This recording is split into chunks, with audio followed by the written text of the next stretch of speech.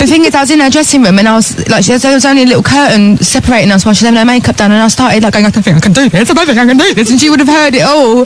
And then she popped out, so I put on a brave face. But the second time, I went out on a balcony and got my hands and knees and cried. Literally bowing at the altar I've been listening Beyoncé. to her since I was like nine, man. Do you know what I mean? It's incredible.